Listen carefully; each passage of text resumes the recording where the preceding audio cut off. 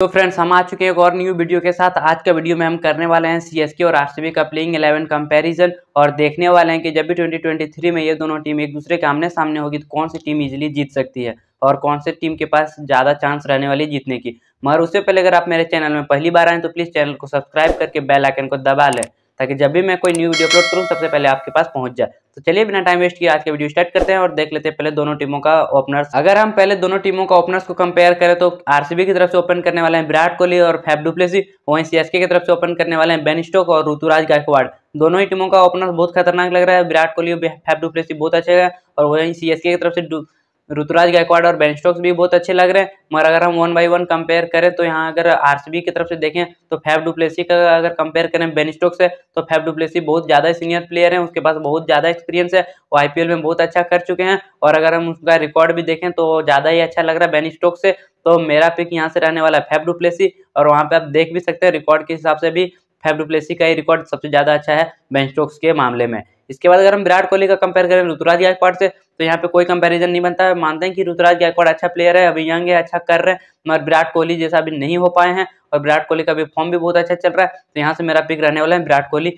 अगर हम यहाँ पे मोइन अली का कंपेयर करें, रजत पाटीदार से तो डेफिनेटली मोइन अली बहुत अच्छे प्लेयर है, मगर रजत पाटीदार ने पिछला सीज़न बहुत अच्छा किया था, कुछ मैचों में लास्ट में और बिग मैच मैच में चल रहा था, जैसे सेमीफाइनल में रन बनाए थे। तो इसीलिए मेरा पिक यहाँ से रजत पाटीदार रहने वाला है, क्योंकि रजत पाटीदार अभी बहुत अच्छे फॉर्म में चल रहे हैं और इंडियन प्लेयर है तो वो ज़्यादा ही कंडीशन को समझते हैं, इसीलिए मेरा पिक यहाँ से रजत पाटीदार रहने वाला है। इसके बाद चार नंबर पर अगर हम अमती रायडू का कंपेयर करें गिलेन मैक्सवेल से तो अमती रायडू बहुत दिन से क्रिकेट नहीं खेले हैं, उसका एज भी बहुत हो चुका है, और वहीं ग्लेन मैक्सवेल कंटिन्यूसली भी मैच खेले जा रहे हैं तो यहाँ से मेरा पिक गिलेन मैक्सवेल रहने वाला है। इसके बाद अगर हम महिपाल नोमरोर का कंपेयर करें, शिवम दुबे से तो डेफिनेटली दोनों यंग प्लेयर हैं अच्छा कर रहे हैं, दोनों इंडियन टीम के हैं मगर यहाँ से मेरा पिक शिवम दुबे रहने वाला है, क्योंकि शिवम दुबे के पास ज़्यादा एक्सपीरियंस है, वो ज़्यादा मैच अच्छा खेले और ज़्यादा लंबे लंबे छक्के मारने की काबिलियत है शिवम दुबे के पास, इसलिए मेरा पिक यहाँ से शिवम दुबे रहने वाले हैं। इसके बाद अगर हम दिनेश कार्तिक का कंपेयर करें, महेंद्र सिंह धोनी से तो डेफिनेटली कोई कंपैरिजन नहीं बनता, दोनों टीम बहुत प्लेयर अच्छे हैं, मगर फिर भी मैंने आपको बताया था के का कंपेरिजन वीडियो में कि मैं महेंद्र सिंह धोनी का किसी से कंपेयर नहीं करने वाला,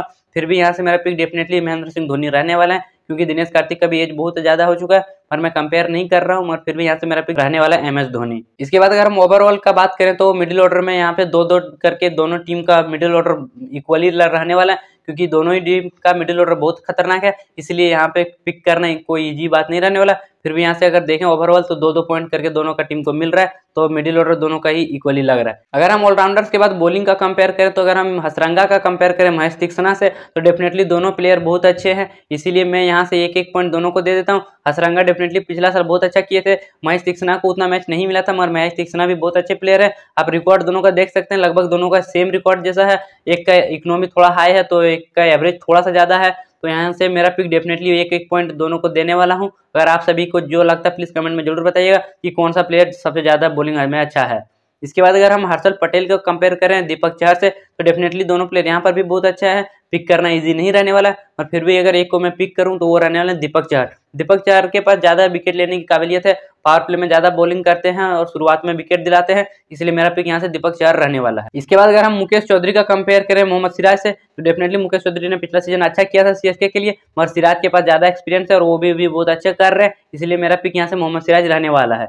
इसके बाद अगर हम जॉस हेजलवुड का कंपेयर करें काइल जेमिसन से तो यहाँ से मेरा पिक जॉस हेजलवुड रहने वाला है, क्योंकि जॉस हेजलवुड भी बहुत अच्छा चल रहा है टी ट्वेंटी में और पिछला साल भी बहुत अच्छा किए थे आरसीबी के लिए, इसीलिए मेरा पिक यहाँ से जॉस हेजलवुड रहने वाला है। इसके बाद अगर हम रविंदर जडेजा का कंपेयर करें शहबाज अहमद से तो डेफिनेटली मेरा पिक यहाँ से रविंदर जडेजा रहने वाला है, क्योंकि रविंदर जडेजा का बॉलिंग भी ज़्यादा अच्छा है और बैटिंग भी ज़्यादा अच्छा है, इसीलिए मेरा पिक यहाँ से रविंदर जडेजा रहने वाला है। इसके बाद अगर हम ओवरऑल देखें तो दो दो पॉइंट से दोनों टीमों का बॉलिंग यूनिट भी सेम लग रही है। मिडिल ऑर्डर भी दो दो पॉइंट करके इक्वली लग रही है। मगर आरसीबी की टीम ओपनिंग में लीड कर रही थी, इसलिए यहाँ से ओवरऑल अगर कंपैरिजन देखें तो आरसीबी की टीम थोड़ा ज़्यादा मज़बूत लग रही है सीएसके की टीम से।